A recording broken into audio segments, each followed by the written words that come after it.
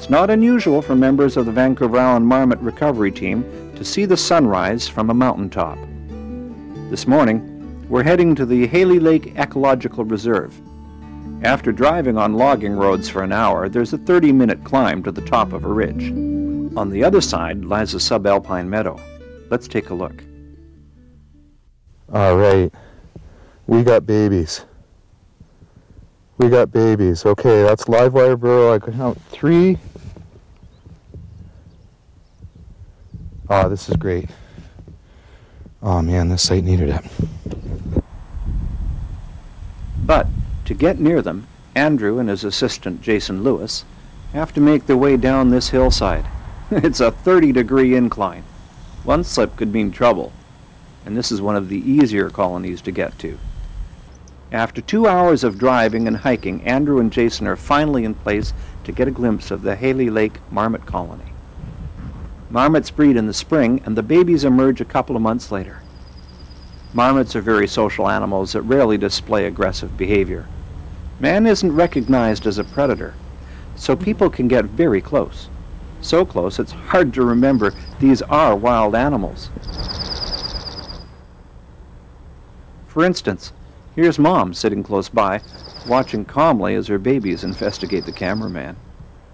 One of the really fun things about Vancouver Island marmots is, is how approachable they are. Um, they're pretty tame. They don't seem to mind people very much, and um, and they don't seem to mind other marmots very much. They're uh, they're not very territorial. You don't often see fights happening or or antagonistic behavior, and and the interesting thing about all of this is that marmots are really highly social creatures, and the reason why they're highly social creatures is directly related to this habitat. The whole evolutionary history of Vancouver Island marmots is, is, is based on this, this fundamental need for these, these spots that are clear of trees but also have lots of, lots of things to eat and, uh, and good soil for digging burrows in. Uh, the natural habitat out here is, is uh, fairly small and it's also patchily distributed. These subalpine meadows typically are quite small, you know, several hectares in size, and they're, um, they're, they're, they're scattered quite widely. So you, you have a patch of meadow habitat on one mountain, and on the next mountain you may have another patch of habitat. Uh, scientists actually call fragmented populations like this a metapopulation. A metapopulation is just a, a scientific buzzword that means a population of populations. When you have these small colonies, it's all too easy to imagine how they can become extinct. Um, a bad winter, uh, a cougar that comes in and kills the breeding female or a bald eagle that, that comes in and kills the breeding male um, can cause local extinction. Now marmots have, have faced this lifestyle for many, many um, centuries and they're, they're quite adapted to it. Uh, but the whole key to understanding Vancouver Island marmots is to understand that naturally these small colonies become extinct and, that, and are then recolonized by dispersing marmots. And in fact, Vancouver Island marmots are programmed to disperse. Most of the, the young marmots uh, will disperse at age two or three. I like to take people to this spot because this also is a, is a good place to talk about marmot dispersal because it's one of the few places where we actually have some empirical evidence. Um, on the east side of Mount Whymper, for example, um, I have a, a clear cut, a logged colony, uh, where uh, some years ago we, ha we had probably 25 or 30 animals living there. And two of my tagged animals actually made a, what I consider to be quite a, a stupendous journey for a, for a, for a small rodent. Uh, they literally climbed down out of Pat Lake Basin, they dropped about a thousand meters in elevation, swam across the Chemainus River, traveled up through this young young forest that was logged probably 30 years ago, up through the, the recent clear cutting uh, on Mount Franklin, and they actually both wound up on the, on the south face of Mount Franklin where they formed a new colony.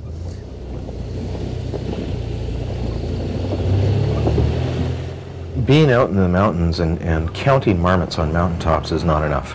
Um, we have to actually learn how individual animals perform in terms of how well they reproduce um, how well they survive.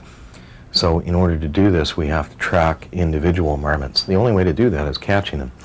And you're tagging them and basically going up year after year and, and seeing it, seeing who's mating with whom and and uh, who's survived and who hasn't.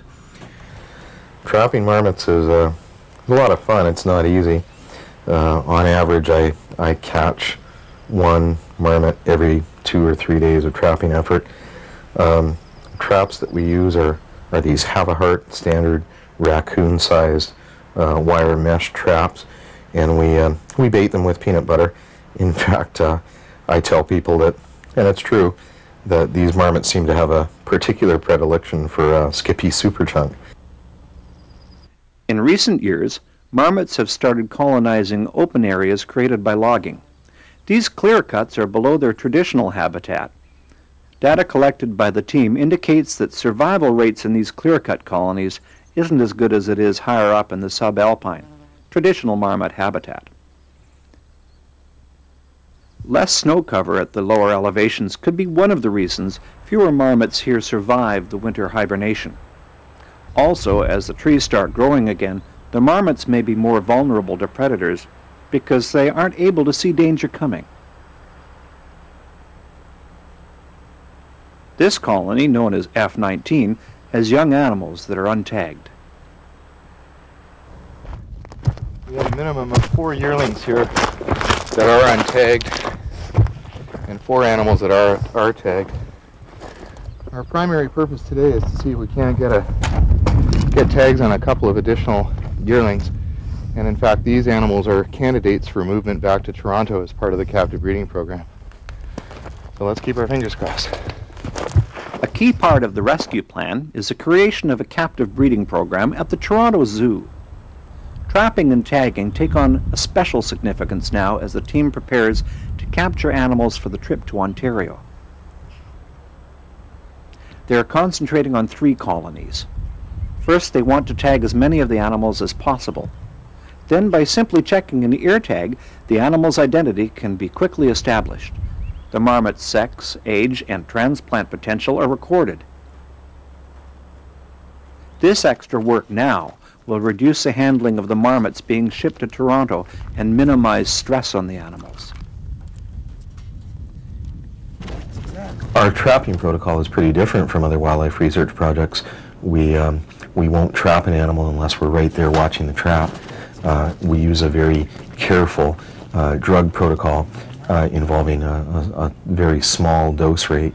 We try to be as careful as possible. Uh, when handling or processing the animals. These guys, after all, are endangered.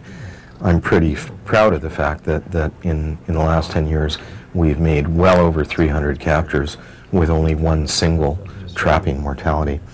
Uh, so we try and handle the animals carefully.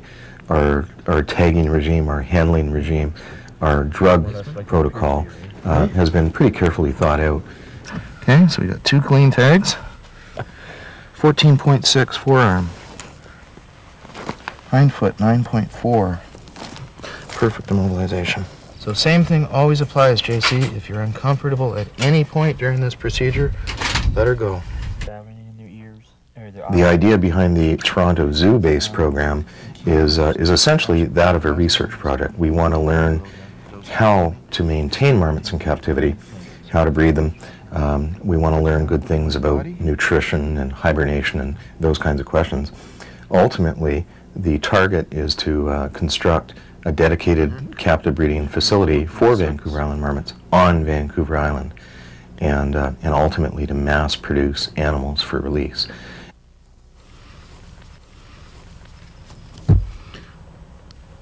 Just 31.8. Okay, we're done the measurements. We got an accurate sex. We got good tags.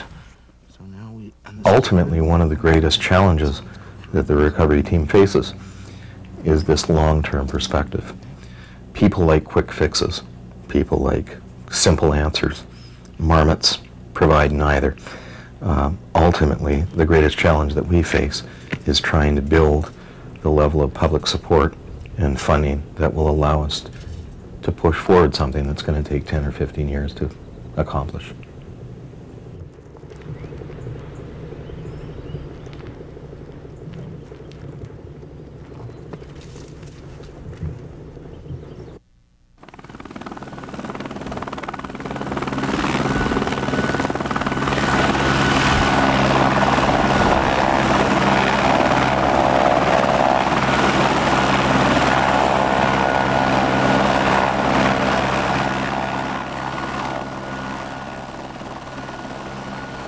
Early August of 1997, the recovery team successfully captured and moved six marmots to the Toronto Zoo.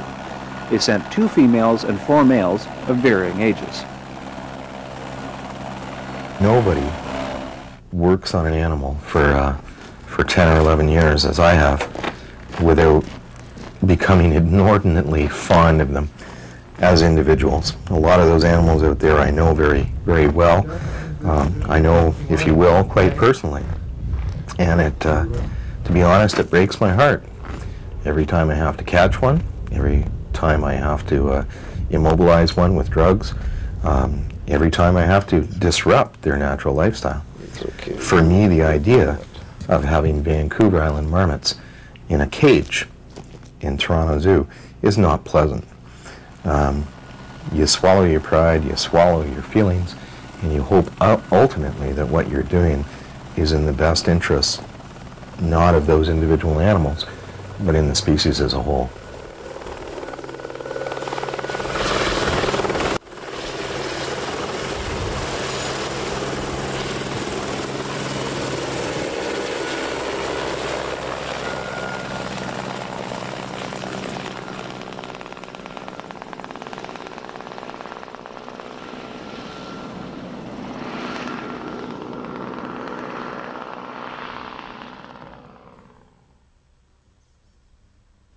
This documentary was filmed in the summer of 97.